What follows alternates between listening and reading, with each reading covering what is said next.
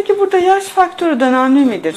Yaşlarda idrar yolu enfeksiyonu daha mı sık görülür ya da daha mı az görülür? Tabii kendini koruyamamak, temizlememek, temizleyememekle çok e, bağlantılı olduğu için idrar yolu enfeksiyonları yaşlarda birazcık daha sık görülebiliyor. Özellikle hijyene çok dikkat edemedikleri için e, birazcık daha sık görülebiliyor. Sonra menopozda e, genital bölge çok inceliyor. Evet. Çok daha e, enfeksiyona açık hale geliyor yaşlı kadınlar. O yüzden de birazcık daha sık görülebilir yaşla beraber özellikle menopozdan sonra.